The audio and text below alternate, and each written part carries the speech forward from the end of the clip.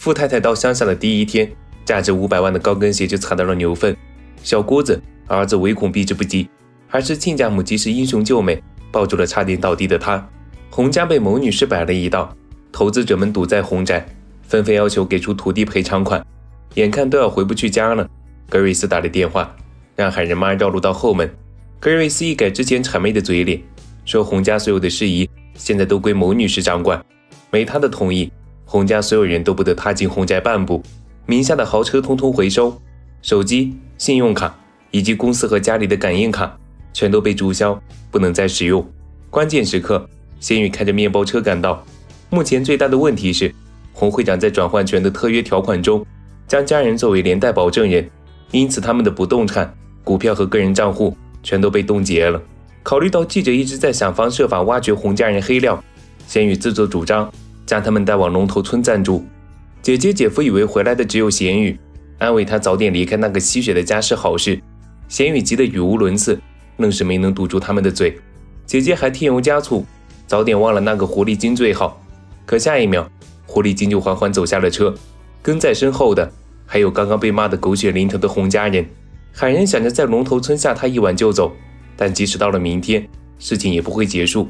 目前最安心的地方也就只有龙头村。虽然海人不会安心，可是贤宇会，只有亲眼见到他留在身边，心里悬着的石头才会放下。贤宇姐替海人妈清洗了鞋上的牛粪，但残留的味道可能还得晒好几天。她拿出一双廉价的拖鞋，海人妈不情愿地穿上，委屈地流下眼泪。看贤宇妈在庭院里准备晚餐，犟嘴说姐姐让他们搬去南海的别墅。贤宇妈淡淡一笑，回了一句：“话别说太满。”两家人围在餐桌前。世代富裕的洪家人第一次品尝如此普通的餐点，竟觉得有另一番风味。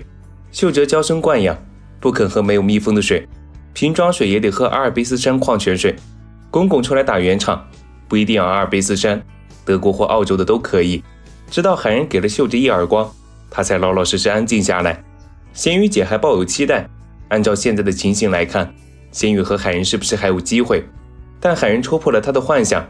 直言两个人现在比毫不相干还不如，所以不要对此有什么误会，更不要有期待。咸鱼姐不甘示弱，提到以前追过咸鱼的女孩已经被分配到镇上当老师了。没想到海人一点也不吃醋，大摇大摆的离开了。为了让亲家安心居住，咸鱼爸腾出了最好的厢房，附近没有监控，智能手机的普及率全国最低，论保密性还是不错的。条件确实有点差，没有浴缸，不能泡澡，唯一能用的毛巾。还是先与侄子周年纪念时定做的，差不多用了八年。但最让秀哲难过的，还是他的妻儿不在身边。尹胜质问某女士，为何要把洪家人赶出去？只有把他们放在眼皮子底下，才能确保他们不会寻到把柄来反击。某女士已经看穿他的想法，都是借口。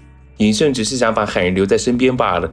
回忆起小时候，某女士送尹胜去福利院，说为了更好的生活，会一直把对他的爱埋在心里。可尹胜觉得，真正的爱是无法忍耐的，所以不管付出多大代价，他都要把海人接回洪家。就像某女士之前抛弃他选择洪家人一样，他也可以抛弃某女士，选择别的东西。姑姑打电话给大哥诉苦，后悔如果对某女士好一点，是不是就不会落得这种结局？大概在十年前，某女士要和洪会长结婚，姑姑大吵大闹，事情最后也没办成。难不成是她怀恨在心才会发狂？哭着哭着。一个老太太走上前，问姑姑是不是跑了丈夫才会哭，还让姑姑帮她一个忙。最近有个精神病，老叫她妈妈。姑姑是个热心肠，立刻起身要赶男人离开。直到男人提起电视剧，老太太又突然站起身，轻易的叫着儿子，跟他回了家，只留姑姑一人在原地尴尬。海人翻出咸鱼房间里的 MP3，惊讶发现咸鱼和他的喜好如此类似。咸鱼发来短信，两人有一搭没一搭的聊着。明明都想关心对方，可又放不下面子，话到了嘴边又变了味儿。要不要我请假陪你？深思熟虑之后变成了晚安。海人问起 MP3 的由来，才知道是咸鱼在高中的运动场上捡到的。海人仔细端详着 MP3，上面有熟悉的印记，想起年少时在高中遇到的一个男生。当时那个人难道是咸鱼吗？莫非咸鱼在看到他的一瞬间就一见钟情，所以才会留着 MP3 到现在？他特意问咸鱼。女神是不是长得特别漂亮？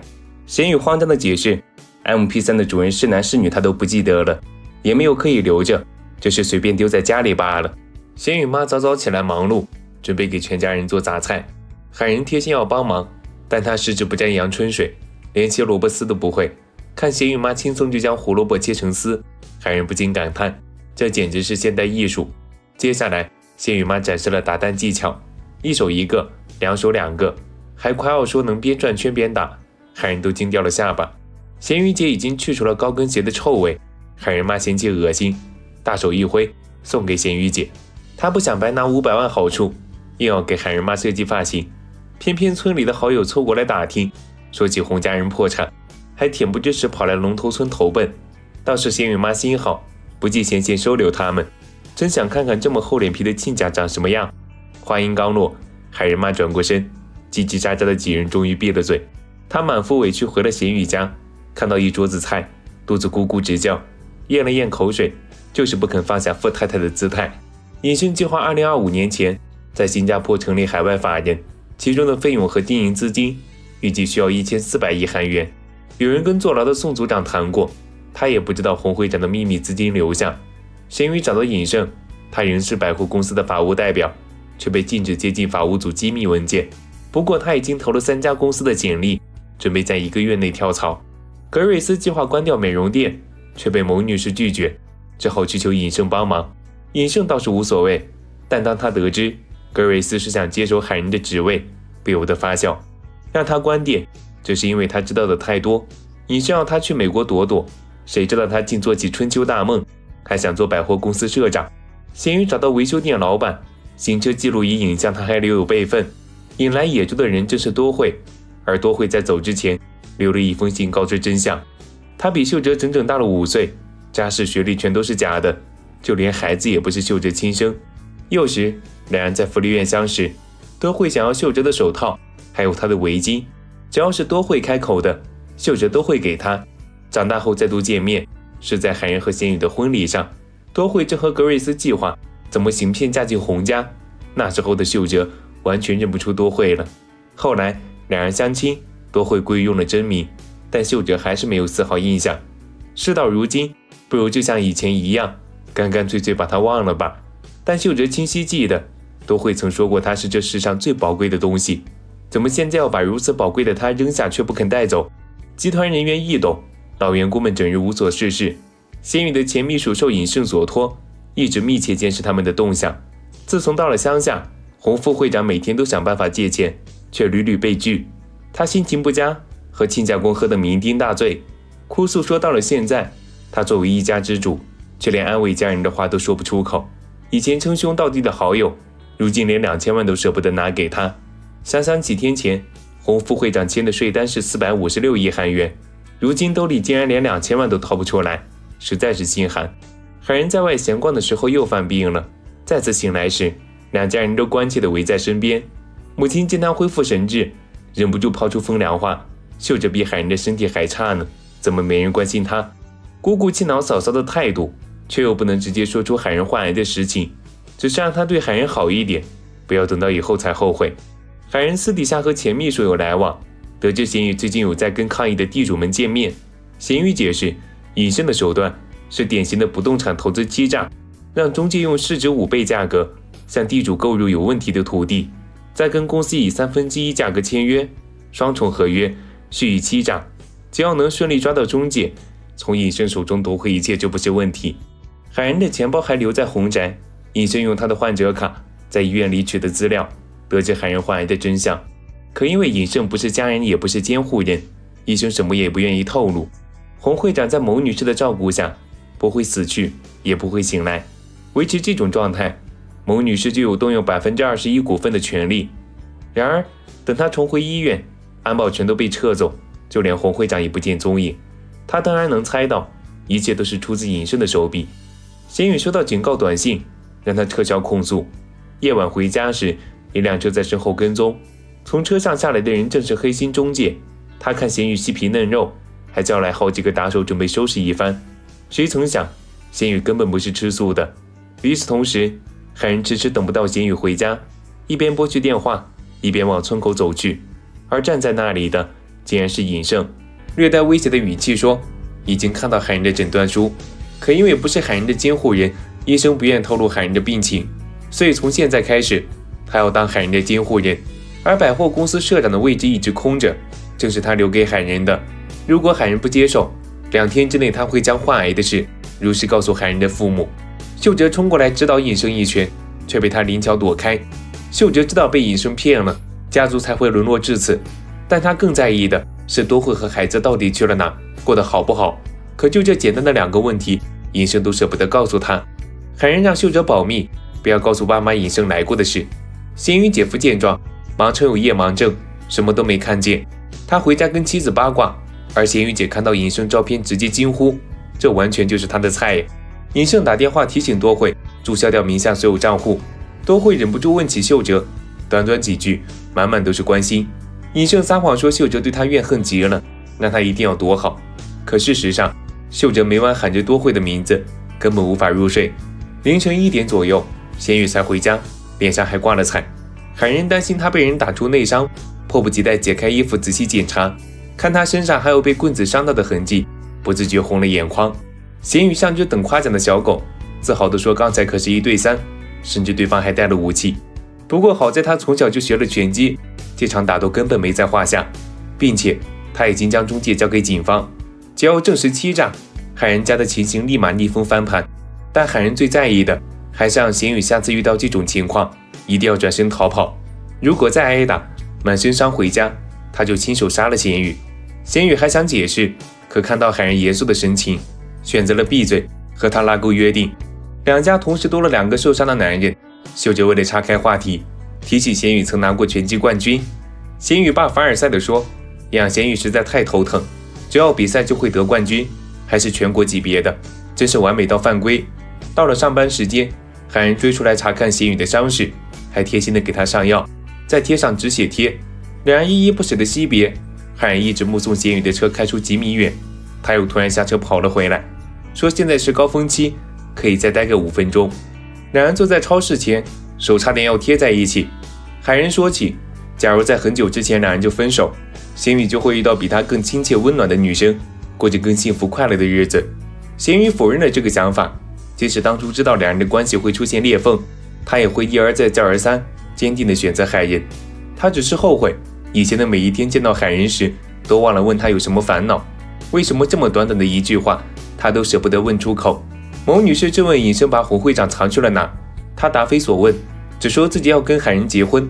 某女士问他海人是否答应了，尹胜理直气壮回答：“没有，是我自己想的。”咸宇收到公司的解职处分，明白这都是尹胜不满他将海人藏到龙头村的报复。公司员工对他避之不及，生怕跟他走得太近会被当作同党踢出公司。格瑞斯只是帮忙卧底，跑了几次腿，远不及某女士在洪家蛰伏数十年，更不及尹胜从小失去母亲在外漂泊。他想要社长的位置，未免狮子大开口。但某女士也给了机会，叫格瑞斯动用他的人脉，不遗余力找到洪会长的踪迹，一切都好说。姑姑哭的时候，老太太给过他一张手帕，他特意找到老太太儿子归还。男人告诉他：“难过就哭是三流，忍住不哭是二流，难过吃肉才是一流。下次有伤心的事，别再流泪了。”姑姑心里铭记这番奇怪的话，也记下男人的笑容。竞争对手朴硕勋升任龙头村村长，新官上任三把火，第一把火就烧到了仙雨爸身边，怀疑他的好友是否给了村民特殊待遇。这倒也好理解，权力转移从来都不是和平的，新权力总是会拿前任亲信开刀。最令仙雨爸难过的。是他最爱的村庄代表水果梨子，也被朴硕勋抹除，换成了苹果。秀哲一直联系不上多惠，发出的邮件屡屡被退回。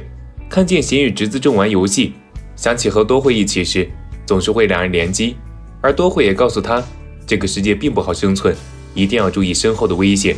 秀珍猛然想起什么，打开游戏，多惠在两小时前曾上过线。格瑞斯给某女士汇报进展，贤宇带着律师好友找上门。他查到格瑞斯名下的美容店有十三间没有登记，逃的税不知道累积了多少。格瑞斯的名声在圈子里很臭，他经常给人做媒，可只要不满没人理，就会不择手段让人离婚，甚至派人助长婚外情。受害者名单一页纸都装不下。如果他们得知实情，格瑞斯的下场估计不太好看。他镇定自若，说着只要钱给的多，一切都好说。姑姑直接上前打得他眼冒金星。生活在洪家，怎么可能不知道姑姑的暴力秉性？格瑞斯老师交代了关于洪会长的调查进展，还一副假意忏悔的样子，说把洪家人赶走，他心里也不好受。顺便问起海人妈最近的状况如何，海人妈仍放不下有钱人的姿态，即便村民们为上次的冒犯道歉，她也还是犟嘴，说自己经常去的都是夏威夷、巴厘岛等度假胜地，第一次在这种特殊的穷地方待几天也没关系，惹得村民们再一次回击。虽然他现在没钱。财产也不知道什么时候能解除冻结，还不如村里这些有田地的人呢。钱秘书到龙头村和海人接头，为他带来一整箱资料，还提起贤宇在公司受了委屈，因为收受律师事务所贿赂以及侵吞人工费被告渎职。海人之前派监察组调查，什么负面记录都没查到，可想而知一切都是尹胜蓄意捏造。当然，只要他想，嫌疑的罪名还会有更多。贤宇爸失去村长的位置，一个人喝闷酒。海人爸理解他的心情。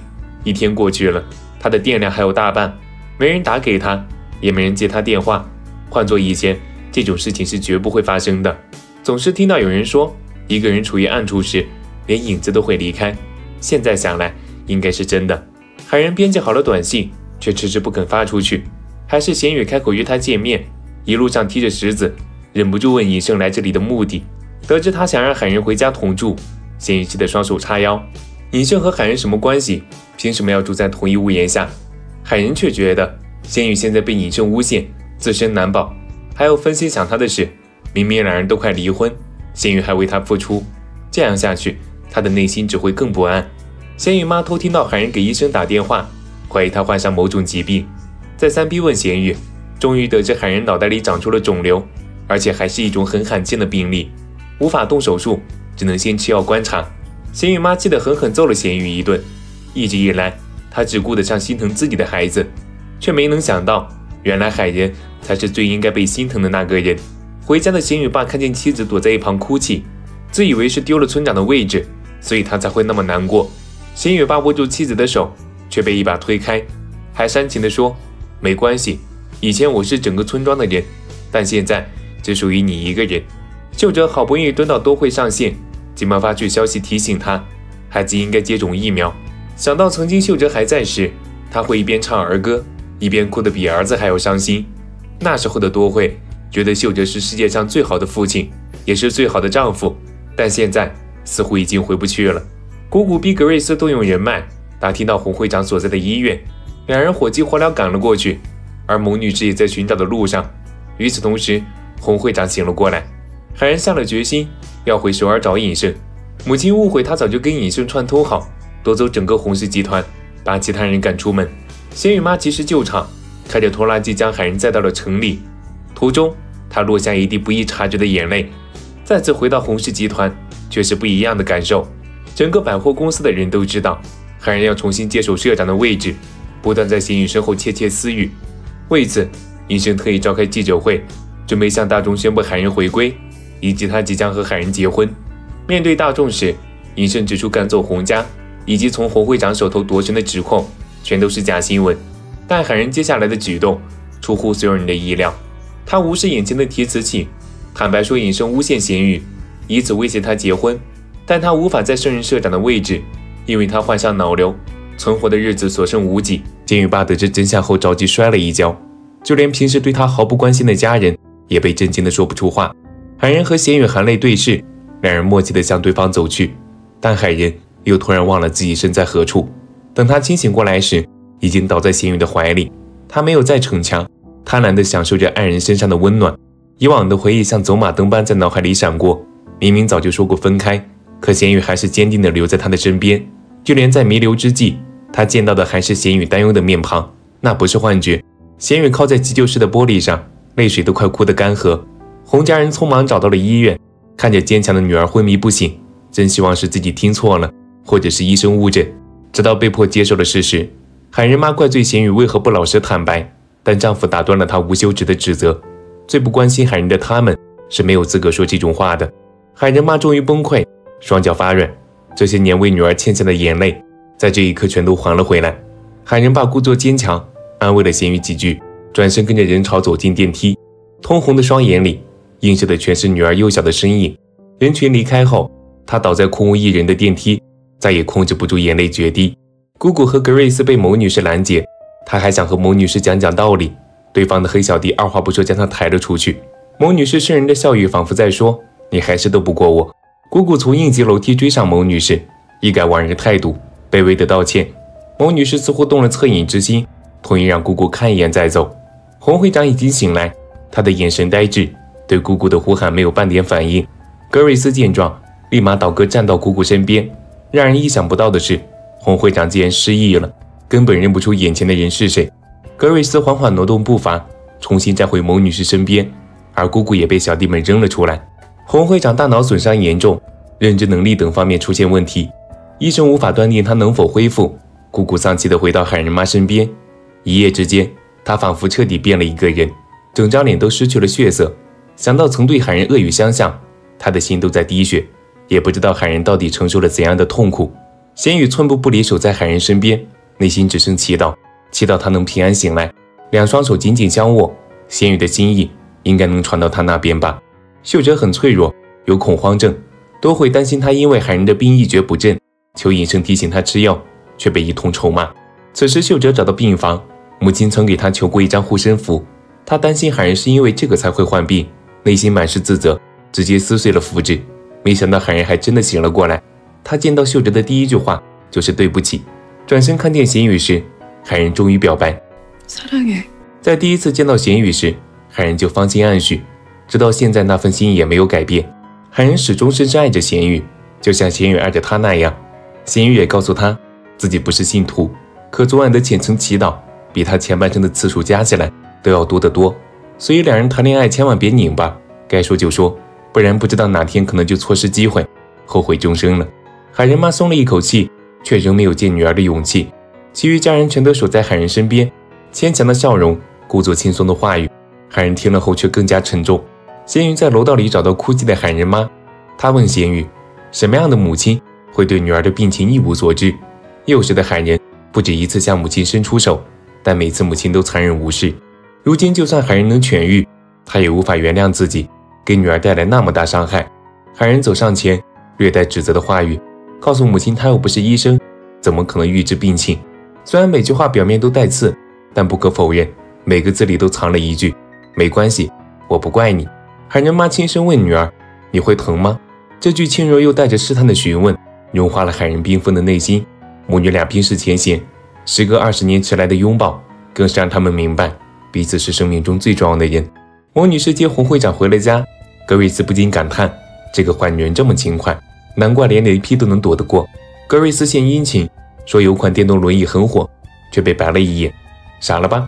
什么都用电动的，怎么体现某女士照顾洪会长辛苦？某女士召来公司众人，公布洪会长的状态，不适合回到公司，今后所有的提案都必须要先交给某女士过目。最近股价断崖式下跌，投资者们强烈抗议，眼下破局的方法。只能先找到洪会长的秘密资金。海人爸几天都没有进食，说起从小到大，孩子们依赖的都是洪会长。这样的状态下，海人爸如果告诉海人相信爸爸，这句话又怎么可能给他带来力量？但亲家却说，父母不管有没有出息，对孩子来说都是一座灯塔，所以好好吃饭，点亮自己。听君一席话，海人爸终于鼓足精神。海人曾是想加入遗照俱乐部的野心家，自从记者发布会后形象巨变。成了为救前夫公开绝症的世纪纯情女，真是丢脸丢大发了。钱秘书不服气，他才丢脸，以为海人要回社长的位置，在百货公司分六个月，买了没有打折的奢侈品衣服，哪怕是为了这笔巨款，海人也要回到公司。说完，还含着眼泪紧紧拥抱了海人。海人还是不服气，这也太亏了。仙羽立马用小奶狗充满爱意的眼神看着他。路人对眼前一幕窃窃私语，两人看着也太恩爱了吧。尹胜找到医院，刚好海人也有事要交代。他料到媒体和投资者都在施压，凭尹胜的股份难以抵挡。但他可不是想要帮忙，而是霸气警告：再来烦他，尹胜的损失会更大。在大学时，海人曾以为尹胜真心待他，不管陷入何种困境，尹胜都会伸出援手。可后来海人发现，所有困境都是尹胜制造的，这才切断了彼此的关系。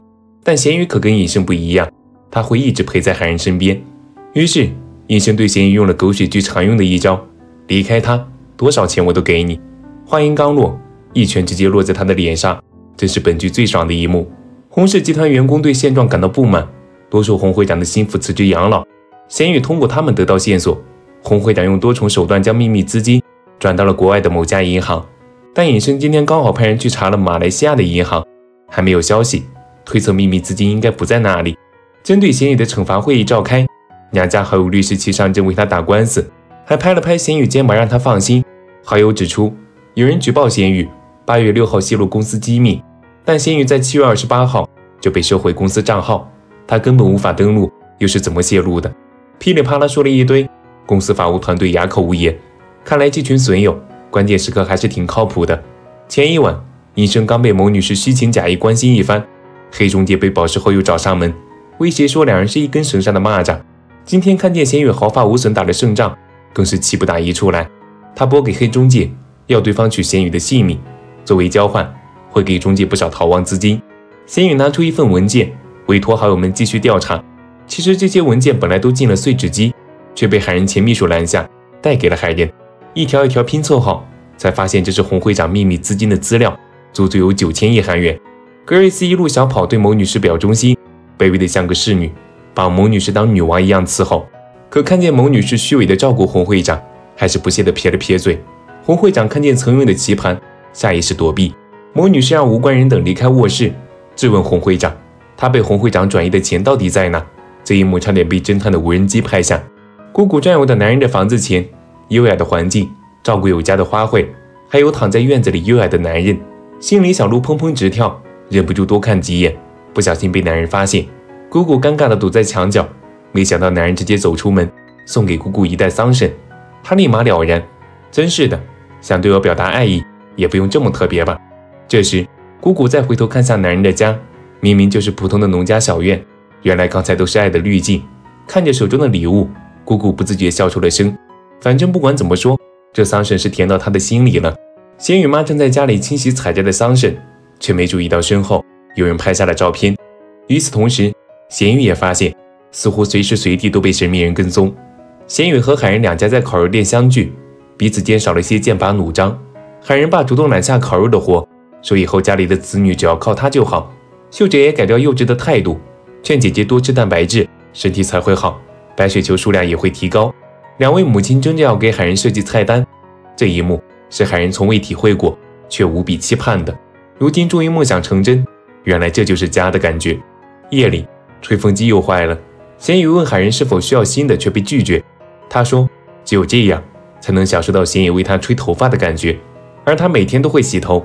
所以贤宇每天都要在他的身边，如此就够了。但海人的身体越来越差，老是忘记身边的人是谁。医生说过，脑瘤会导致他丧失认知能力。海人想把记忆留在最美好的时刻，所以等病情恶化时，希望贤宇不要在他的身边。贤宇默默听着，却什么话都没有说。秀哲不再颓废，尊称贤太为师傅，要跟他学习拳击，用自己的双手双脚来保护家人。训练过程很苦，秀哲是拳击小白。每次都躲闪不及，贤太不断为他打气。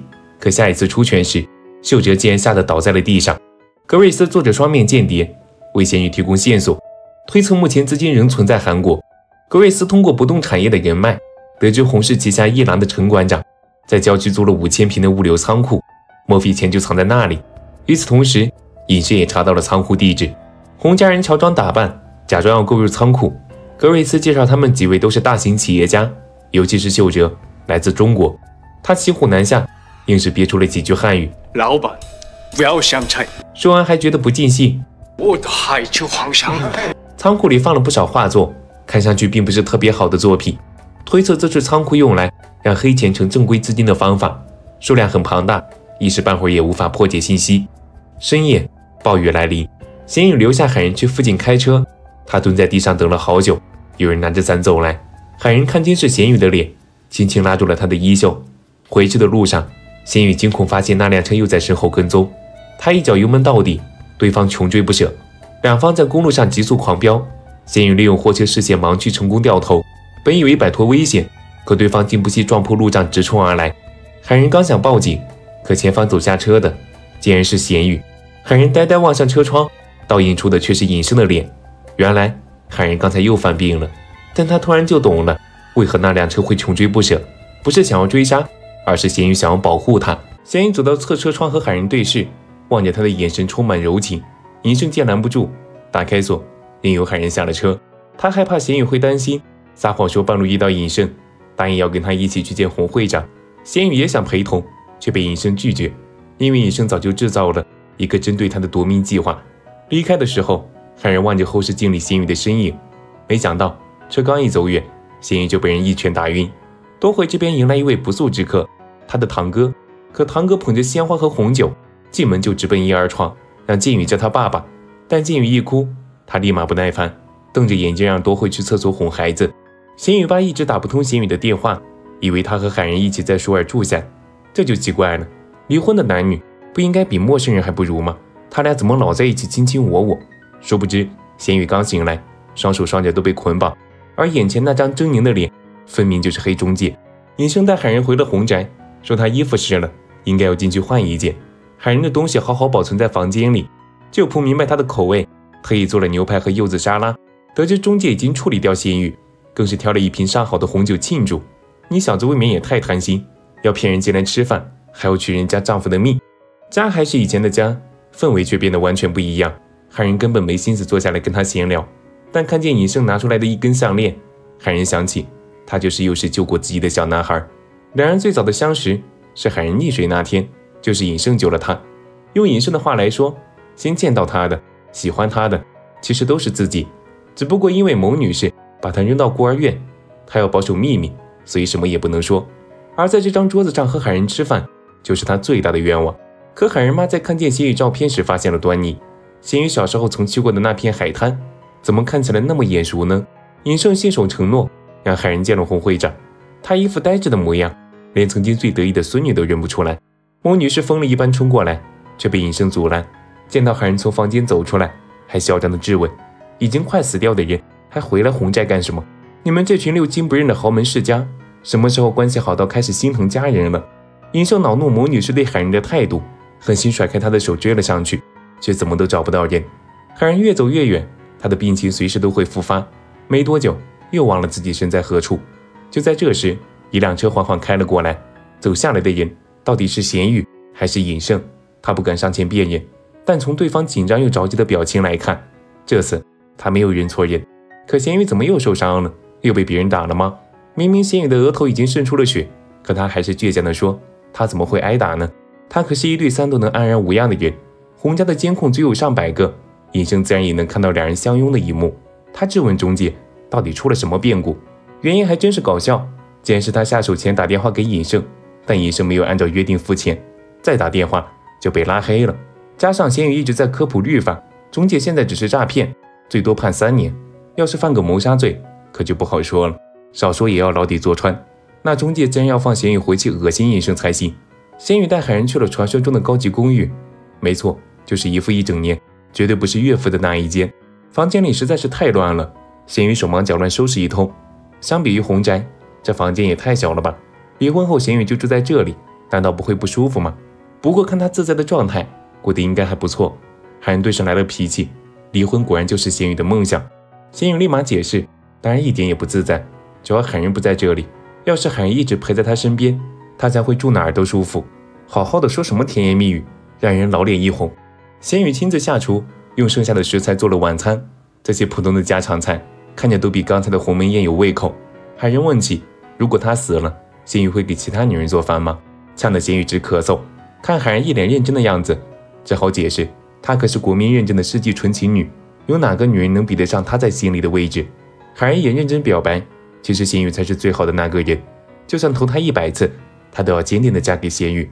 说话时连眼睛都不眨。看得咸鱼的心是七上八下，但尹胜可就没那么舒服喽。看着桌子上的残羹就来气，扔了盘子不说，坐在椅子上双眼通红，哭了好久。海恩一直在利用尹胜，某女士又何尝不是？尹胜无暇应对假惺惺示好的某女士，起身要走，可对方却问：“你以为我真的不关心你吗？那对收了钱却对尹胜不好的养父母，为何会酒驾车祸身亡？欺负尹胜的福利院院长死于火灾，难道真的是巧合吗？没错，又是他干的。”这就是某女士爱一个人的方式。海人提起刚刚见过洪会长，和之前意气风发的他判若两人。某女士在门外大喊大叫，海人担心他随时都会闯进来。给爷爷留下一支录音钢笔，那是海人生日时爷爷送的礼物，只有他们两人知道。此时，某女士冲进房间，质问洪会长用他名义存的秘密资金到底在哪，还杀人诛心般说了海人的病，却没注意到离开之后，洪会长垂下了眼。秀哲每天玩命训练，时刻暗示自己就是个猛男。贤太见他如此努力，很是欣慰，和秀哲聊了很多。可秀哲一闲下来就会想到多惠，也不知道她过得好不好，当然不好。丈夫嫌多惠偷出来的钱太少，怀疑她私吞了。多惠为了保护孩子，被掉下来的台灯砸中。担心丈夫会做更危险的事，只好坦白说其他值钱的都放进保险箱，以后就带他去取。给丈夫倒红酒时，多惠偷偷下了安眠药，还从丈夫钱包里偷走一样东西。另一边，海人看着熟睡的咸鱼，忍不住端详起他完美的脸，不愧是万千少女都为之心动的男人。鼻子是鼻子，嘴巴是嘴巴，一个都不少。咸鱼起身，把海人入怀，一起躺下。这场面甜得腻人。前一晚，咸鱼是从后门进的红宅，由格瑞斯负责接应。回报就是咸鱼要给他秘密资金的百分之三。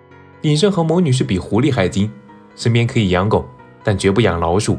格瑞斯赶紧投诚，说咸鱼马上要找到秘密资金，答应要给他百分之十。但魔女士对他的恩情，他绝对不会忘，所以只要魔女士愿意让出一套房子，加上秘密资金的百分之七，他就答应随时汇报。而秘密资金应该就藏在洪家。龙头村的村民发现最近老是有人偷拍，咸鱼姐霸气摔下叉子。穿上价值五百万的高跟鞋，一个飞踢将男人踹出几米远，吓得他们开上车夺命狂奔。咸鱼带海人去了村里的告白圣地，据说在这里表白的人都是百发百中，必定成功。夕阳的余晖下，仙羽掏出早早准备好的钻戒，再度向海人求婚。迟来的告白，仙羽却一点也不迟，但海人想都没想就拒绝了。他早就说过，如果病情严重了，最不想仙羽陪在身边。昨天将隐身认成咸鱼，更让海人明白。明天和意外不知道谁会先来。现在看来，意外来的比他想象的要快。为了避免无法承担的悲剧，海人坚定说了分手。姑姑和侦探查看无人机拍下的录像，男人急匆匆跑来，他的母亲又失踪了，找遍整个龙头村都下落不明。姑姑灵机一动，派出无人机在村里搜寻。男人不自觉和姑姑贴近，找到母亲后还热情地跟她拥抱。姑姑的心都快被小鹿撞散架。看男人家里母慈子孝，姑姑很是羡慕。但男人说。父亲是个很糟糕的人，母亲在他很小的时候就离家了，后来得了失智症，男人才接他回来一起生活。每个人都会有自己的人生重担，即使看起来无忧无虑，在他们的口袋里也有各自沉重的石头，所以不用羡慕别人，也不用自责。洪会长每天都要在护工的监督下喝药，可等护工走后，他却从嘴里吐出藏好的药，强撑着站起来，将药藏进柜子中其他药瓶里。侦探确认秘密资金就放在洪家。可家里怎么可能放得下九千亿韩元？海人想起昨晚爷爷说了一句话：“假如爆发战争，到我家来，我家有防空洞。”听说洪会长在建房时确实有盖避难室，但没有人真正见过，建筑设计图上也没有。与此同时，医生和某女士也想起秀哲提到过家里的避难室。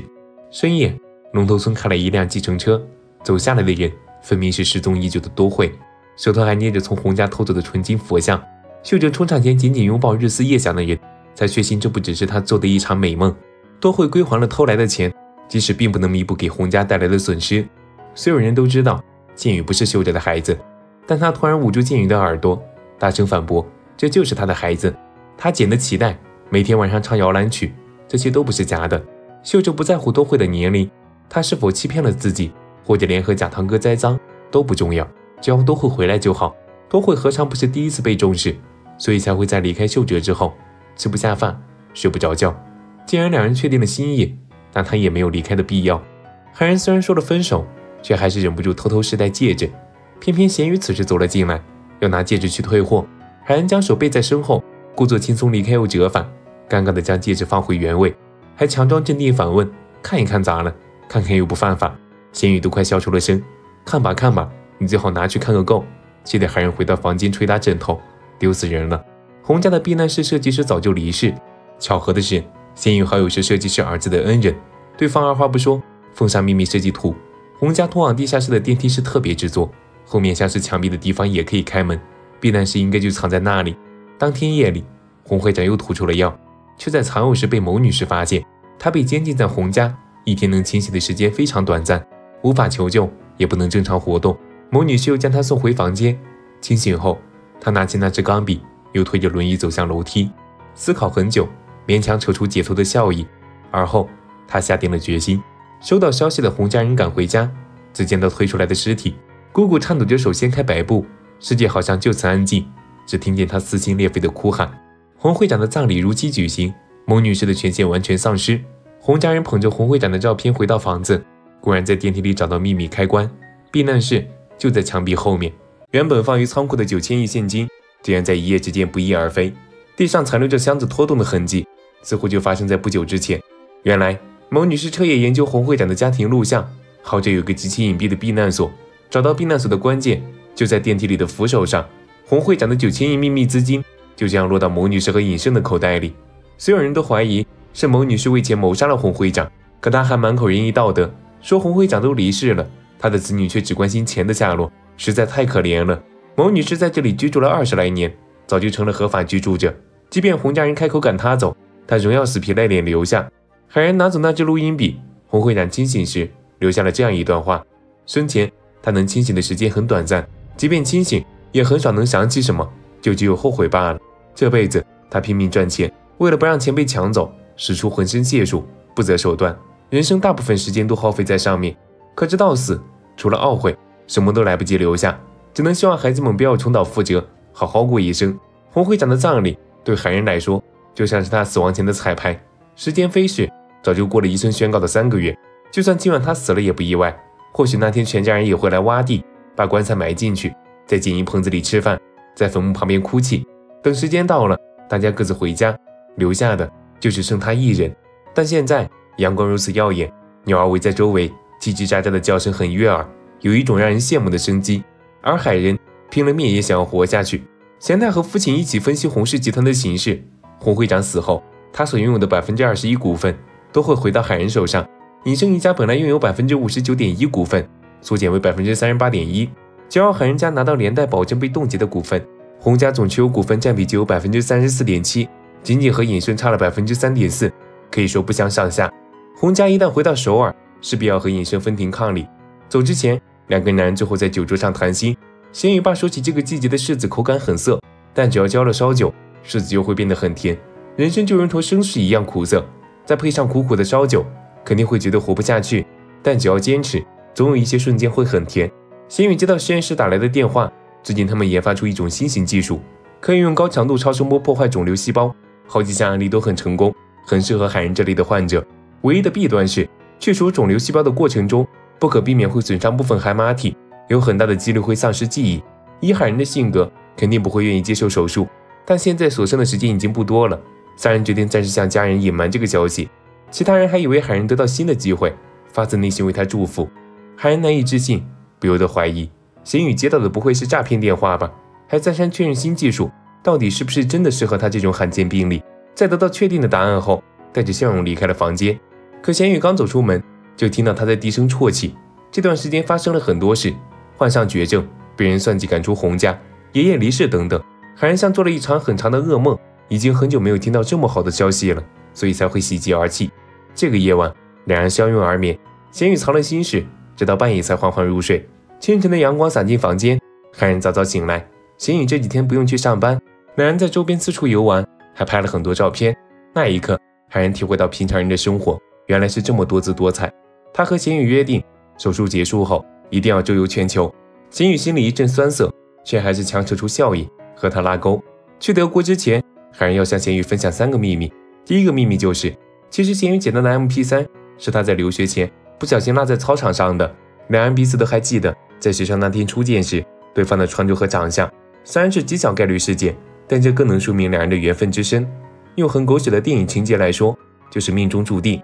不久前，他们还在闹离婚，海人又患上绝症。往后这个词对他来说太沉重，但现在他终于可以重新拥有和咸鱼的往后，所以。海人戴上那枚钻戒，接受贤宇的二次求婚。咸鱼也要求海人再三保证，即使有天睁开眼睛很讨厌他，即使以后不记得现在的决定，也绝不会反悔。谁也不知道这些话在未来是否算数，但现在只要能抱着海人，能感受他的呼吸和心跳，心才能安静。王女士按约定分了格瑞斯六百亿，但她提前申请了止付，格瑞斯要乖乖的按照她的吩咐做到满意为止，孟女士才会申请解除止付。咸鱼妈担心洪家人回了首尔。吃不上自己亲手做的泡菜，买了五百斤白菜加工，都会热情帮忙。看他娴熟的刀法，倒是一点也不像洪家的少奶奶。海人妈心有芥蒂，不肯接受多惠，可多惠却说，她第一次称一个女人为母亲，这个称呼以后也不会变。村民们热情邀请海人用凤仙花染指甲，传说颜色到初雪那天还在的话，就会遇到自己的初恋。等到贤宇下班，海人神秘兮兮的让他上前，亮出染了色的小拇指。贤宇记得海人提过，他曾为了多看初恋一眼，还特意绕远路，光在远处看着都很开心，不自觉就会想起那个人。但贤宇怎么都没想到，那个人竟然就是他，还吃起自己的醋来。海人大伯一直在和股东见面，不断收购集团股份，和尹生对抗。万万没想到，一切都是贤宇的计谋。他特意联合大伯和股东，逼尹生动用秘密资金，只要露出马脚，就可以用法律让他入狱。而之前绑架过贤宇的中介，已经一周没有消息，很可能是被尹生灭口了。姑姑在乡下闲逛时偶遇意中人，对方让他晚上见面，说有重要的东西要交给他。姑姑精心打扮一番，一副苦恼的模样，说自己马上要离开，平时应该也不会有时间回龙头村，所以男人的心意她应该是无福消受。可男人邀她见面，只是为了送一份铂金。姑姑内心的伤痛被触动，不自觉流下眼泪。男人递来手帕后转身离开，姑姑望着他离去的背影，真正的心意始终说不出口。为了能和多惠一起生活，秀着不打算和父母一起回首尔。海人和贤宇也是一样的想法，他们要搬去监狱的公寓。海人妈笑出了声。接受了孩子们的决定。夜里，母亲去了海人的房间，说起很多年前，她的梦想就是生下一个漂亮的女儿。有一天做了胎梦，梦里有流星划过，愿望就实现了。母女间吵了二十年的架，直到现在她才觉得后悔，发自内心想对海人好。不过还好，往后的时间还很多，他们仍可以慢慢变得亲密。临走前，海人爸向亲家表达歉意，把秀哲留在这里，就像出来玩没有把垃圾带走一样不安心。相处这么久，说走就走，其实也很舍不得。两方商量着，要不就多留一天也没关系。为了报答亲家的收留，海人爸买下全机关整栋楼，特意送给咸鱼爸。他摇身一变成了包租公，让贤太立刻结清拖欠的房租。咸鱼姐姐想搬到一楼开理发厅，也要一次性付清一百万韩元。之前咸鱼爸总觉得被子女以下犯上，这栋楼刚好可以作为检视他们忠诚度的媒介，顺便收收房租。海人和咸鱼搬回公寓，碰到附近的邻居，对方还以为两人是新婚夫妻，说来也是。结婚三年多，现在才感受到婚姻的甜蜜。接下来他们是彻底释放了内心的感情，每天都要腻在一起，要么手牵手，要么脚碰脚，再不然肩膀也要挨一起。光是看着秦颖的脸，海人都感觉每天中了五百万一样幸运。生活中的每一秒都是专属于两人的甜蜜回忆，这种回忆会助每一对情侣撑过难过又苦涩的时光。仙宇告诉海人，他会喜欢棒球的原因，是因为觉得心情复杂时，只要专注于一件事。看着对他来说最重要的东西就好了。而现在，咸鱼最看重的当然是如何拯救海燕。格瑞斯不请自来，一番甜言蜜语哄得海人妈降低戒备，还请来高级美容师给海人的两位母亲做脸。打探到海人最近要去德国接受手术，还从都惠那里得知他是对秀哲动了真心，才会选择背叛某女士。格瑞斯将情况一字不落报告给某女士。尹信也得知海人的手术以及手术的副作用，他特意找到咸鱼，拜托咸鱼一定要保守秘密到最后一刻。不然以海人的个性，肯定不会接受手术。海人投以自己顾客的身份到百货公司，之前他很讨厌只看不买的顾客，以及跑跑跳跳的孩子，让助理撤掉了休息空间。逛了一圈下来，他才发现当初设计的弊端。想买根唇膏，结果连保湿霜也买了；去看针织衫，没想到又买了大衣。顾客的眼睛和鼻子得不到休息。等他手术结束，要撤掉部分柜台，设计又贵又舒服的休息空间。海人患病前要求员工尽早准备圣诞活动。现在才十月，集团就已经在布置装饰。此时恰逢彩灯彩排，天空还下起了雪。黑暗中缓缓走来一个身影，所到之处皆是光明，就像神明一样。他为海人实现了出血的愿望。海人又提起初恋，心雨醋意大发，问起那个臭小子到底是谁，才知道这是海人的第二个秘密。以前心雨下班老是搭三七二号公交，坐在最后面靠窗的位置。如果不是一直绕远路跟在身后偷看，海人又怎么会知道的这么清楚？贤宇才明白。原来他就是海人的初恋，两人的助理也在旁边八卦。下午商量彩排时，就是贤宇要求设备组启动造血机，这就是所谓的双向奔赴嘛。贤宇爸向妻子坦白海人手术的副作用，秀哲得知真相，震惊不已。与此同时，海人妈也得知了事实，贤宇两人已经搭上前往德国的航班。殊不知，隐身也紧随其后。海人向贤宇说了最后一个秘密，他曾说过顶楼养了一只浣熊，玄宇每次去顶楼都会叫浣熊的名字，其实只是海人撒的谎而已。浣熊怎么可能生活在顶楼？说说笑笑间，已经抵达了实验室。进手术台前，贤宇还是向海人坦白，手术的后遗症可能会导致他失去所有记忆。海人临阵退缩，这个世界对他来说太残忍，动手术会失去记忆，不动手术又会死，怎样的选择才算不上糟糕？他望着那双通红流泪的眼，那双眼叫他好好活下去。可遗忘了所有美好，又能怎么好好活下去？手术前，贤宇录制了一段视频，介绍了两人好几年的婚姻生活，从怎么相识。怎么离婚，一直到怎么和好，说着说着，情不自禁流下眼泪。而他留下的最后一句话是：“就算你不记得我和我的约定，我也会一直陪在你身边。”他才三十岁，就急着挑选合适的墓地。看见一位老爷爷祭拜妻子，幻想着自己死后，丈夫会不会每天都带鲜花来探望。他的病太过罕见，百万脑瘤患者里都挑不出第二个。丈夫是个无神论者，但会从白天起睡到黑夜，保佑他能顺利手术。但海人却带咸鱼去了薰衣草花田。这是他们蜜月旅行的终点，也是第一次吵架的地方。那晚的香气、月亮和风，海人都记得很清楚。这些记忆作为燃料，让他得以运作，找到活着的意义。如果要手术，任何关于两人的记忆都会从海人的脑海里抹除。这片薰衣草田会成为陌生的地点，而咸鱼也会成为陌生人。所以，海人拒绝动手术，哪怕要直面死亡。姑姑回到洪家，每天都放不下意中人，她控制不住思念。等缓过神来，已经回到了龙头村。还找了个拙劣的借口，说是放心不下留在村里的秀哲，才前来探望。两人一起到男人家里喝茶，秀哲没眼力劲儿，说起姑姑只提几千万的包，一个戒指就能买一间公寓，去年买的手表都要两亿，急得姑姑一声大吼，没注意到男人眼里的落寞，但他还是鼓起勇气表达心意，让姑姑有空常来。得知海恩不愿进行手术，秀哲出了个馊主意，先由父亲以长辈的身份训斥，再让母亲哭哭啼啼的说好话。可到了视频的时候。真正要说的话都被心疼代替，没有任何人在对海恩说狠话。父亲提起贤宇曾为了他的手术，联络了国内外的几百家医院，寄了数百封电子邮件，配合美国和欧洲的时间，每天半夜打电话，这才为他找到希望。所有人都劝海人，记忆没有活着重要，可没有了记忆，海恩又是否会变为另一个人？他实在太害怕这种事发生了。听见视频那头传来的哭泣声，难以抑制心痛，始终没能控制住掉落的眼泪。某女士阴魂不散。她想要的是都会从丈夫那里偷走的 U 盘，都会将其藏起来，就是为了要挟某女士不能再对洪家动手。这些话全被一旁的海人妈听见，对多惠的偏见一点点消除。她将围巾围在剑宇身上，仍旧蛮横的态度，可每一个举动都透露着她已经承认了多惠的身份。海人的检查结果不佳，再这样拖下去就没有手术的必要。他不肯在病床里待着，咸鱼跑遍了整个医院，都没有找见他的踪影。但在教堂的祈愿签上。咸鱼看见海人写的一句话，他想要带着最珍贵的记忆，安安静静的离开。咸鱼跑出教堂，看见那个失忆哭泣的熟悉身影，他一把将海人拥进怀里，又拉着他的手，保证，即使海人会失忆，变成另一个人，但只要醒来时看见的第一个人是他，两人还是会重新相爱。就算海人没有看上他，他也会一直一直陪在海人身边，不管未来会发生多糟糕的事，初心也不会变，只求海人不要离开，因为这是咸鱼最害怕的事。可海人。还是狠心抽开了手。回酒店后，咸鱼一直板着脸不说话，冷漠地往前走，也没有再等海人。周围的女生看着咸鱼两眼放光。海人挪了椅子的位置，可以和咸鱼拉近距离，猜测他是不是在故意打造知性形象，同时稍微露出前臂肌肉来展现肉体美。咸鱼大方承认，海人之前不是说过扔下他很可惜吗？他就是故意让海人觉得丢下他离开简直可惜到爆炸。警方正调查中介死因，作案攻击的指纹检测结果出来了。嫌疑人已经飞往德国。与此同时，某女士也派了几个人前往德国。据说办完事后，他们不用再回韩国。格瑞斯敏锐察觉某女士肯定有什么大手段，她拿出那本六百亿的存折，在利益和良心之间，还是选择了后者。打电话给咸鱼，确认他们的安危。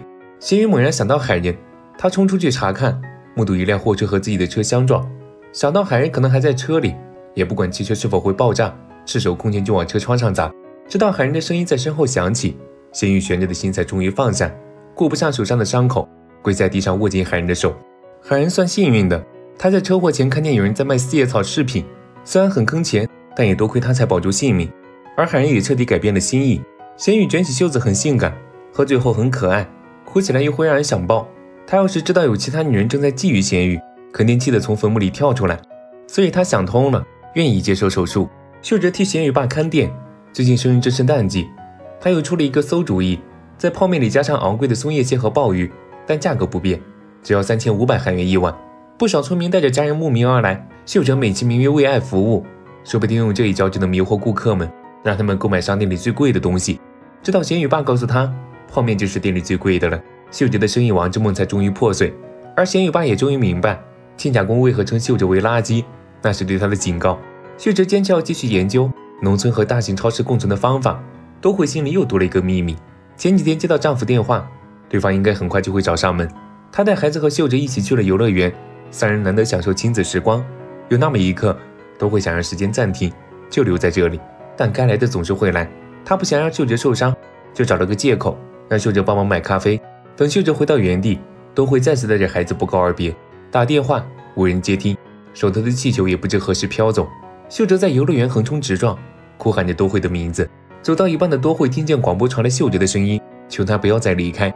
路人嘲笑秀哲是个多糟糕的人才会被抛弃。多惠回怼。她的丈夫一点也不糟糕，是个非常优秀的男人。这一次都会心软了，他没有离开，而是重新投入秀哲的怀抱。海恩在街道中穿梭，希望在失忆之前能够留下更多美好。他看见哥哥从身边跑过，还是年幼的模样。哥哥对他挥了挥手，仿佛在说好久不见，又似乎在说以后再也不用见了。手术前一晚，海恩让贤宇倾吐对他的不满，反正手术后他也不会记得。那可太多了，比如海恩让贤宇准备纪念日惊喜。可如果他真的准备了，海然会生气；不准备，海然还是会生气。又比如海然一听到对他不满的话就生气，就像现在这样。但不管他有多生气，只要贤宇说一句“我爱你”，他的怒气都会消散。但贤宇最想说的，还是希望他能健康，长长久久的陪在身边。海然将活过的这段日子写在了日记本上，交给贤宇。但有一个要求，要等他醒来后才能看。离海然的手术时间还剩下十分钟，两家人都在焦急的等待。海人爸带来好消息，他养的破壳蜗牛活了过来，奇迹发生，还真是个好消息。手术肯定也会顺利。海人握紧贤宇的手，再三确认一睁眼后肯定会见到贤宇，即使把他当成陌生人，对他很坏，他也会寸步不离的守候，这才放心进了手术室。直到海人彻底离开视线，贤宇才露出紧张的一面，他无力地靠在墙上，害怕到不敢呼吸。而意外还是发生了，手术刚刚结束，韩国警方带人赶来抓捕。贤宇涉嫌杀害中介，要回警局接受审讯。这一切的始作俑者又是医生，而贤宇注定无法成为海人醒来后的第一眼。他被警方按倒在地，海人仍在昏迷状态，彼此间最近的距离只有几米，就像银河一样遥远。贤宇被捕的事情传开，好友们着急奔向警局帮忙。海人爸给医院拨去电话，听到那头隐身的声音，都明白又被他摆了一道。隐身的手段不止于此，他以集团前高层渎职和侵占为由。限制洪家所有人出入境。海人的手术很成功，遗憾的是，他睁开眼看见的第一个人竟然是银胜。没等海人开口，银胜率先说出前后的经历，妄图扭曲海人的记忆，说他最想看到的人其实是自己。但海人在手术前突然想起，以前问过贤宇为何记忆力超群，他说只要挑出重点部分喃喃自语，潜意识就会记住，就算以后会遗忘，也总有机会再度想起。为了不失去和贤宇的记忆，海人一直念叨着他的名字。直到完全昏睡，醒来后，他虽记得这个名字，却忘了名字的主人到底是谁。尹胜告诉他，两人本来在大学时交往，绕了一大圈后，现在仍然相爱。而贤宇彻底背叛了海人，离婚后还不断跟踪，只不过现在成了杀人犯，被警方逮捕。海人无法去想他的话是真是假，看着窗外的初雪以及凤仙花染色的小拇指，总觉得心脏传来的痛压抑到无法呼吸，莫名其妙流下眼泪，却不知到底是为什么。另一边。贤宇也看见了窗外的雪，他记得海人说过最喜欢初雪，那样就能一直记得初恋。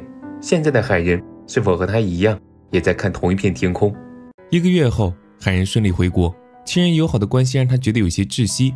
这段时间，尹胜一直在霸占海人的记忆，将洪家人诋毁成为了遗产，不择手段害死洪会长的罪魁祸首。而尹胜则是为了守护属于海人的资产，一直在跟洪家人对抗。海人被误导，当真以冷冰冰的态度。拒真正的亲人于千里之外，而当他们提到贤宇，海人更是连一点好脸色都不肯给。殊不知，警方正调查中介的死因，有人故意把贤宇的头发扔在中介车上，还在凶器上沾了他的指纹。而贤宇手上的伤也被警方误会成他和中介搏斗时留下的伤。贤宇自身难保，可他却忍不住想起手术前，海人问他能不能一睁眼就看见他。海人丧失所有记忆，就觉得自己的家人简直是豺狼虎豹，反而十分依赖满口谎言的尹胜，甚至同意择日跟他结婚。尹胜回到家后，第一时间质问某女士，海仁在德国动手术前的车祸是不是他的安排？得到确定的答案后，尹胜一字一句地警告他：监控已经拍下某女士对洪会长做的事，如果他再敢对海人不利，就会像对付咸鱼那样，亲手把他送进监狱，哪怕他是尹胜的生母。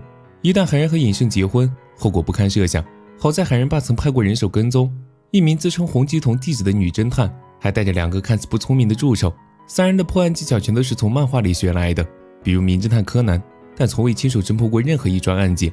在德国时，三位侦探一直在跟踪海人和尹胜，发现两人虽然表面看上去像情侣，可实际上海人总是有意无意避免和隐身接触。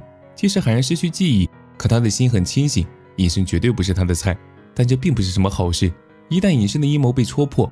可能会恼羞成怒，做出危及他人的选择。洪家里关于夫妻俩的回忆全都被隐身清除。海然来到贤宇的房间，看见放在桌子上的 MP3，他已经忘了彼此间的点点滴滴。可不知为何，听着熟悉的旋律，心里还是有种异样的感觉。他控制不住内心的疑惑，独自一人去监狱见了贤宇，只有一面，他便彻底愣住了。贤宇根本不像尹胜说的那样十恶不赦，看上去好温暖，好阳光。尽管海人极力克制，试图说杀人的话刺激贤宇。可他一句一句的想念，还是触动了海人的心。也不知为何，面对着咸鱼，海人竟连一句真正的狠话都说不出口。而咸鱼，即使在被狱警拖走的前一刻，也在叮嘱海人一定要照顾好身体。这样的人，真的会为了钱背叛他吗？和咸鱼见面后，海人的心脏狂跳，头晕到快要流出眼泪。即使后来尹胜仍不断表示关心，他也不由得生出怀疑，甚至有些抗拒对方的触碰。第二天，在尹胜的陪同下，海人回到百货公司。曾经帮衬过的小贩祝贺他手术顺利，资助过的员工也急着赶来见他一面。海人有些奇怪，以前的他原来这么温柔善良吗？当然，蜜水没告诉海人，其实他以前是所有只看不买的顾客为害虫，对待员工就像仇人。善良不知道，温柔肯定不沾边。检方隐瞒了关键证据——绿色纤维块，推测是想带走对嫌疑所有有利的证据，说不定还是从真凶衣服上掉下来的。凶器确实是咸宇放在公寓里的，可去德国前几天。那把刀就不见了。一大早，咸鱼爸特意叮嘱家人，马上就要开庭，所以不能包东西吃，也不能搅拌，更不能让东西掉在地上。可就是这么不巧，秀哲刚捡来就碰掉了勺子，之后又要用海苔包饭，接着搅拌一番，咸鱼爸都气得差点爆粗口。转眼到了开庭时间，好友指出，警方的关键证据——杀人凶器上面除了被告的指纹和受害者的血液外，还检查出绿色纤维，但这与案发当天咸鱼的着装不同，而监控显示。有一个穿着绿衣服的神秘人从公寓里偷走了咸鱼的刀，也是在同一天，有人在距现场两公里的地方焚烧衣物，好友检测了没有烧尽的纤维和凶器上的纤维吻合。另外，侦探黑进了真凶的手机，拿到他拍下的罪案现场照片，足以证明咸鱼是无辜的，凶手另有其人。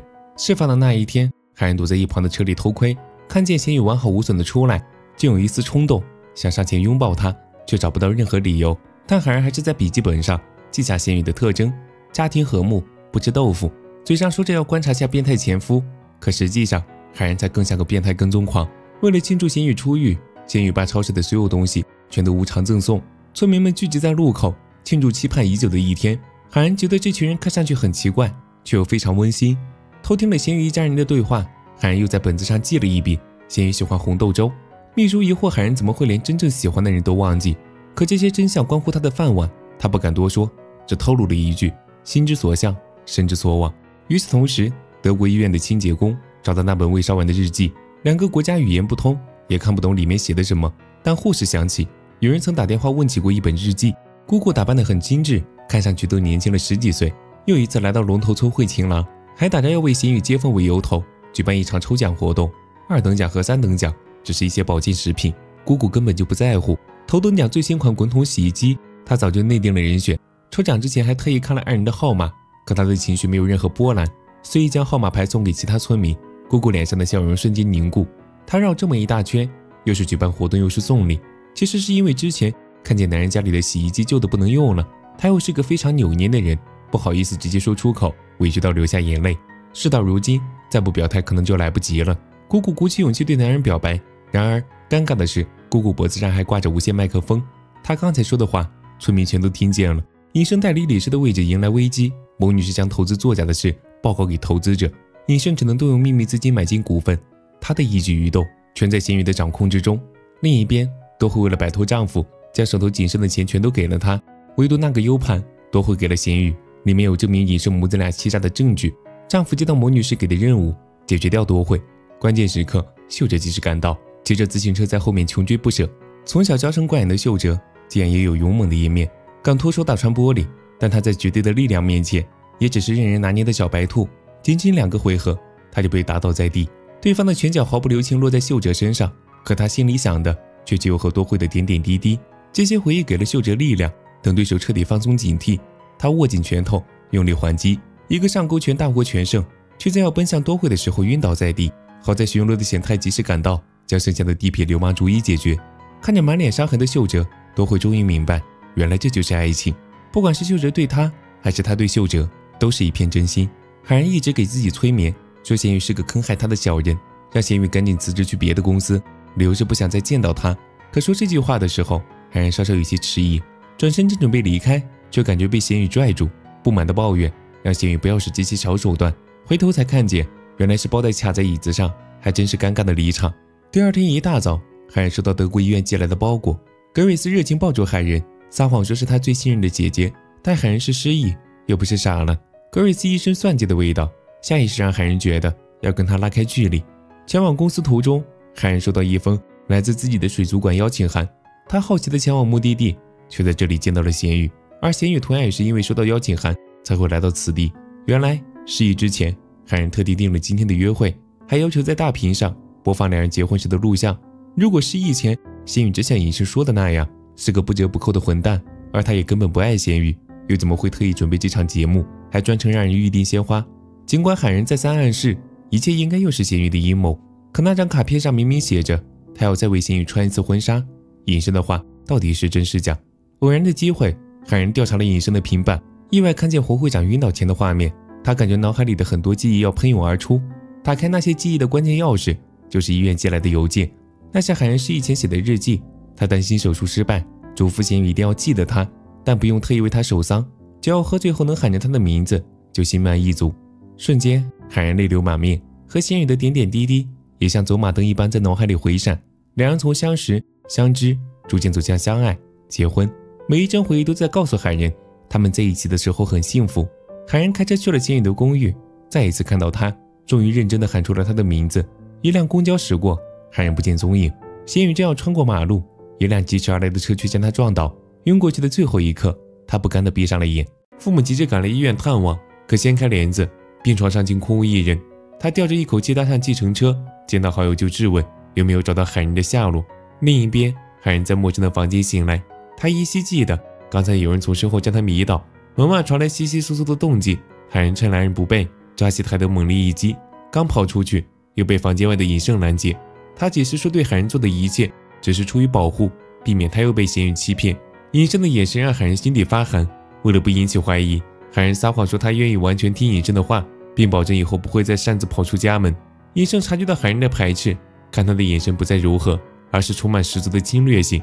咸鱼交代格瑞斯将海人失踪的事报告给某女士，由他来找海人应该会迅速很多。知子莫若母，某女士第一个怀疑的就是尹胜。她从银行行长那里得知，尹胜已经将秘密资金兑换成美金全都取走。格瑞斯给咸鱼通风报信，好友陪同咸鱼跟上某女士的车。说起杀害中介的真凶已经松口，承认有共犯，却没有供出尹胜是幕后主使。好半天过去，谢宇闭着眼没有动静，还有急得喊他的名字，声音都带了哭腔。谢颖才疲惫地睁开眼，还好只是虚惊一场。某女士见到尹胜第一句话就是让他交出秘密资金和杀害洪会长的证据，但尹胜却反问某女士为什么会担心，明明他最会保守秘密。尹胜小时候，某女士潜伏在洪会长身边，他只能远远看母亲一眼。却无法开口和他说一句话。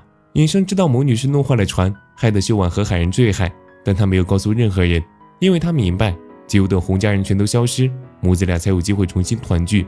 他保守秘密十几年，怎么某女士现在开始担心他会泄密呢？谈话间，某女士发现拐角处有人偷听，正准备上前查看，瞬间有人拉下电闸，四周一片漆黑。尹生拿上备用手电，在豪宅里四处查看，幸好咸宇及时赶到，牵起海人的手。一起逃到家族附近的猎场。咸鱼顾不上身体传来的痛楚，让海人赶紧从正门离开。但他无论如何都不愿意扔下贤宇一个人。两人互相搀扶，一步步艰难往前走。此时，警方接到报案，正在赶往猎场的路上，而贤宇两人被尹胜拦截。海人说出真心话，即使他什么都不记得，可尹胜还是让他觉得很不舒服，所以他绝对不会跟尹胜离开。这番话击溃尹胜心里的防线，看见面前如此般配的两人，尹胜彻底癫狂。即使警方已经赶到，他仍倔强地举起手中的枪，缓缓对准海人。而尹胜也倒在警方的枪林弹雨之下。海人不断呼喊着贤宇的名字，祈求神能赶紧救救他。虽然没了记忆，但心仍在不间断提醒海人，贤宇才是他一生中最重要的人。直到这时，贤宇还挣扎的醒来，向海人伸出手，一遍又一遍安慰他：“不要哭。”在贤宇进手术室前，海人承诺一定会在这里等他。死去的记忆突然浮现在脑海里，海人想起贤宇好像也跟他说过同样的话。魔女是在豪宅里找到被藏起来的秘密资金，正在转移时就接到隐身离世的噩耗。他出现幻觉，看见一个幼小的身影。那个孩子曾苦苦的在身后追随，可他却狠心不肯看一眼。而现在，那个孩子明明就站在眼前，却又像隔着银河般遥远。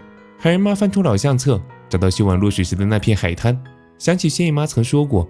仙女儿是参加过海军陆战队营，还救过溺水的小女孩。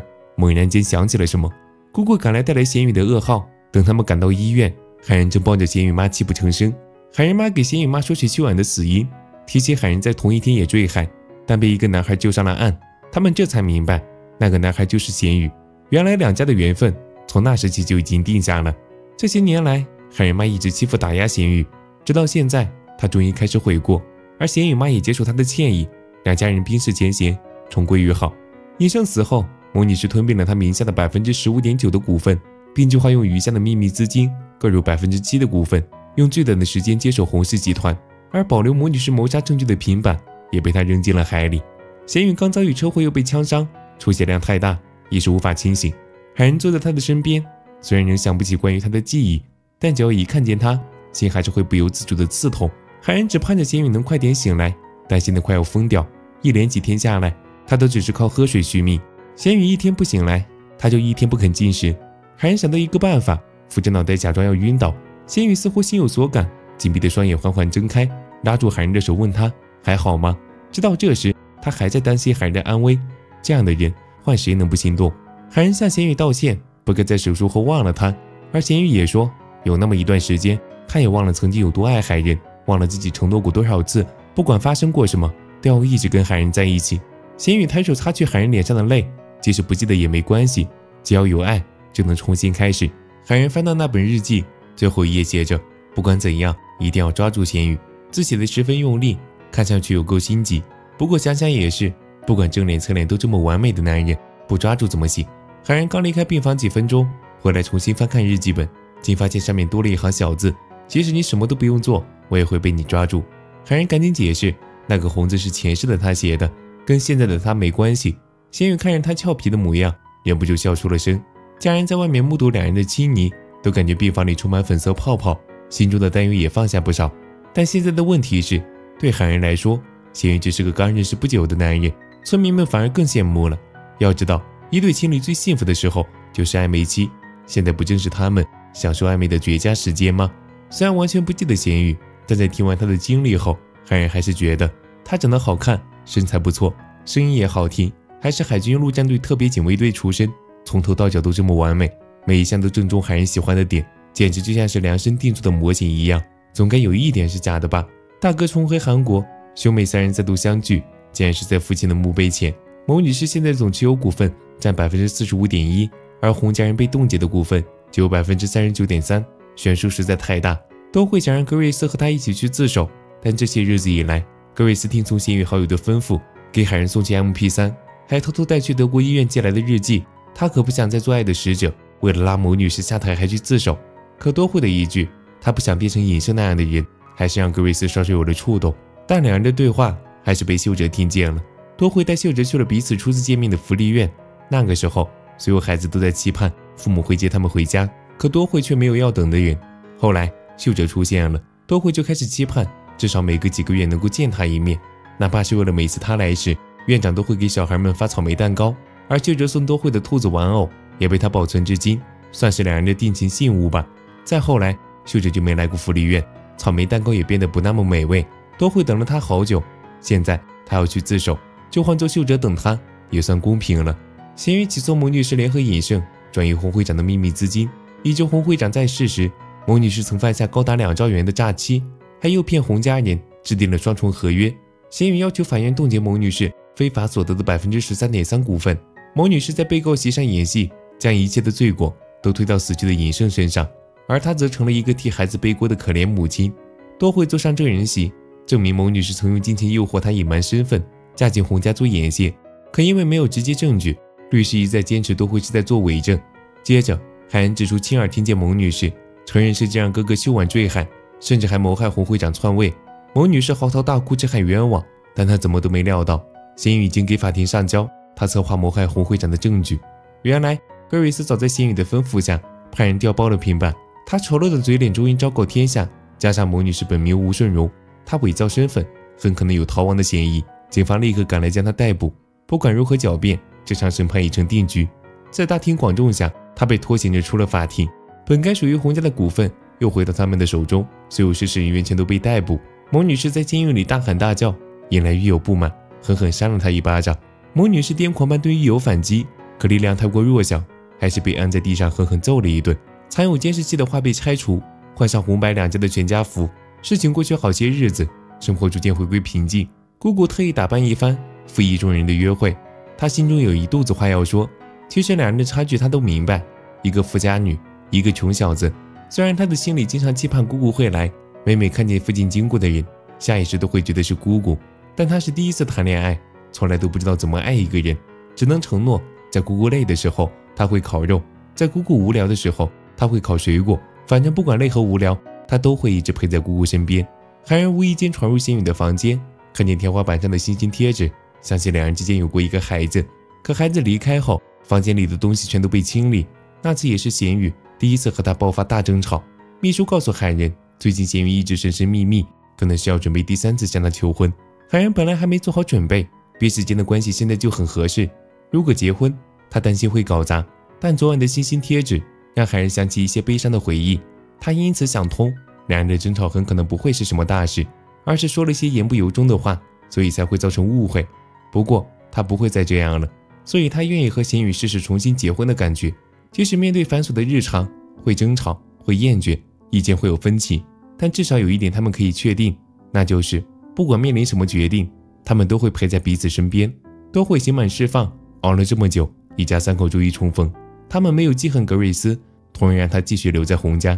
姑姑和爱人的恋情一直没有进展，再这样下去，他就算老的戴上假牙，都拿不到爱人的初吻。谁知男人一把抓住了她，在脸上深深烙印了一个吻，姑姑这才心满意足。海人爸妈偶尔会去龙头村旅游，和贤宇家的关系越来越近。海人跟贤宇过上没羞没臊的生活，也诞下一个可爱的孩子。二零七四年，海人离世，满头花白的贤宇仍不忘来祭拜。他轻轻擦拭着海人的墓碑，彼此间最美好的记忆。